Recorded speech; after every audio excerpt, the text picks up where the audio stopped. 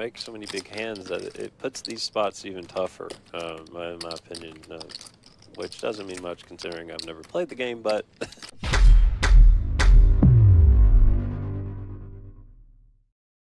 How are you doing today? Welcome to my poker channel. In today's video I'm going to review a hand that happened on Poker After Dark and it's going to be a short deck pot limit Omaha hand. In case you're wondering what short deck pot limit Omaha is, it's going to be pot limit Omaha with 36 cards, no deuces, threes, fours or fives and a flush pizza full house. But now let's get into the action and then I just told him if he ever had those on in my presence to just never even talk to me because I, I would not give him the time of day.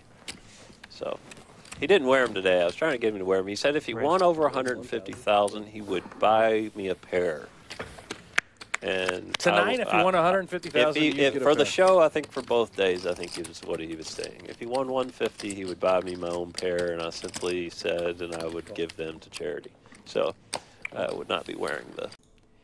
Bonomo raises up to $1,000 with the Ace, King, Queen, Jack single suited. Certainly the best hand here, but Aharoni with the King, Jack, Jack 10 Rainbow and Soverel with Ace, King, Queen, 6 single suited the King, they're not really behind that much in equity. In this game, when it's short deck PLO, all the equities preflop run extremely close together. It's still important though to select your preflop hands a little bit because your playability gets affected quite a bit. If you have a nut suit or if you're generally drawing to the nuts, you're gonna have a lot more potential and you can simply bluff a lot more efficiently after the flop. Let's see what happens. The pink Louis Vuitton. I don't even know if Charity would accept them. No, they would just hand them to somebody else. Yeah, seven, nine, ten, both with no suits. Well, Danny's on his way. They flopped three tens here. Flopping trips.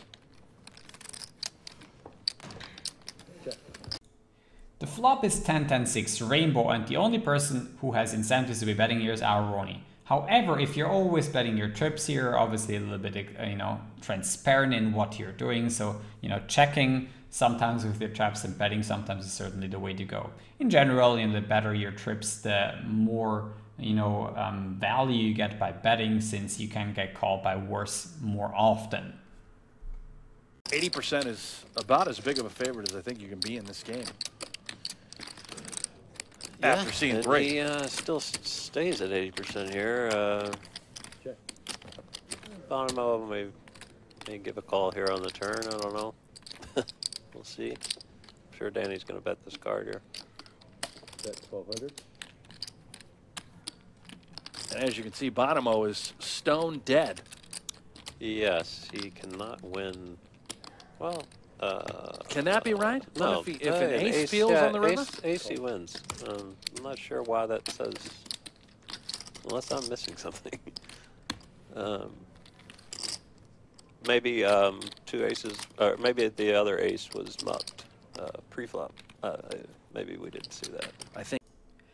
On the turn, Aharoni now goes ahead and bets a third of the pot, Bonomo calls in position with the straight draw and the ace, and now Soverel goes ahead and check raises here to 3600, risking that to win 5800. So he's getting a great price on his bluff here. And he's also picking a very particular combination here. He has the ace-6, king queen and particularly the ace and the six are very valuable cards to have here it's not only blocking the ace 10 but also the 10 6 which could be the hands that you know, Aharoni or Justin Bonomo is going to continue with. Also, Bonomo could still have aces, and it's very important to block that as well, and he's obviously doing that with the ace too. Now, the question is... What am I going to do? I think he would just tie with Sam Soverel with an ace. Sam check raise here? Uh, yes, he is. He's uh, check raise bluffing here. He's got two blockers that make full houses, so he's uh, representing. This is a tough spot for Danny.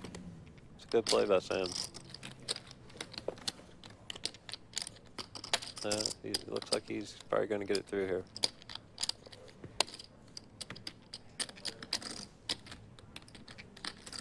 Wow, what a play by Sam Soverel.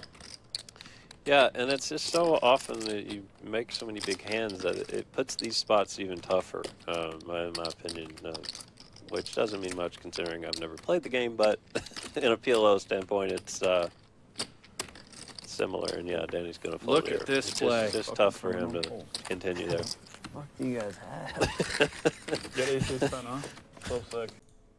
Thank you for watching. Let me know in the comment section below what you thought about short deck pot limit Oma and also about the video. I'd love to hear your feedback. And if you're new here in channel, don't forget to hit the like button down here, subscribe to the channel and hit the notification bell if you want to see more videos coming up in the future.